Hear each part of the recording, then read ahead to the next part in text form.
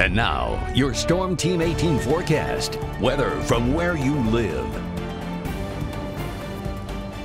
All right, looking at the radar, you can see again that front moving through our area, bringing us those rain chances and also noticing a cold front out to our west. But as it makes its way over here, it will stall out over our area, which will unfortunately will lead to some more rain chances for tomorrow. But for now, we are seeing that rainfall moving through our area. A lot of this is actually good because a lot of this is not actually reaching the ground here towards Lafayette, yet, but heavier rainfall is happening towards our north around Rochester with some more rain out to our southwest in Illinois and eventually this will make its way into our viewing area within the next couple hours or so. But for tonight, looking at a mainly wet night for the first half, but then as we progress throughout the rest of the night, temperatures will drop slowly to around 63 degrees with those mostly cloudy skies back in the area throughout the rest of the night with that wind turning to the southwest by tomorrow morning. And for temperatures pretty mild for tomorrow morning. Temperatures ranging from 61 to 64 degrees for your morning lows, so your Friday morning. So you're gonna need, you won't be needing the jacket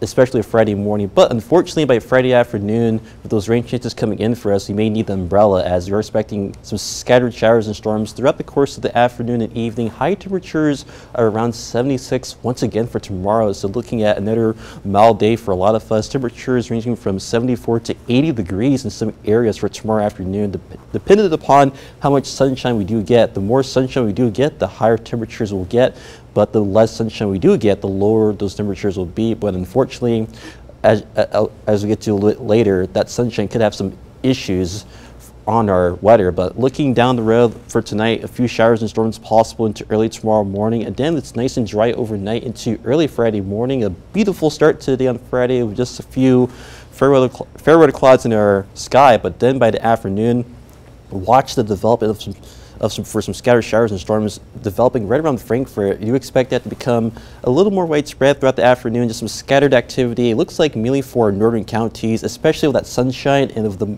of the more sunshine we do get, the more storms we, we, could get firing throughout the afternoon and the evening, especially around, looks like even around 8.30, still some pockets of some isolated storms to our north. It, then eventually they will fizzle out into early Saturday morning. And Saturday we do it again with some clouds in our morning, and then once you lose the clouds, the storms redevelop during the afternoon. But I'll be looks to be a little less of a threat with just a 20% chance for a storm throughout Saturday afternoon and into Saturday evening, but looking to be in better shape for your Saturday afternoon and even for Sunday as well, with lots of sunshine for our viewing area. And now continue into Monday, looking pretty nice for that day. But then unfortunately, our next system will come in here. Looks like later next Tuesday and into Wednesday as a cold front will move through the country, bringing us some storms to our area, maybe even a few strong storms, as right now the threat looks to be mainly from the mid-Mississippi Valley and pointing to the south, but it's entirely possible that if we get some of those parameters up here,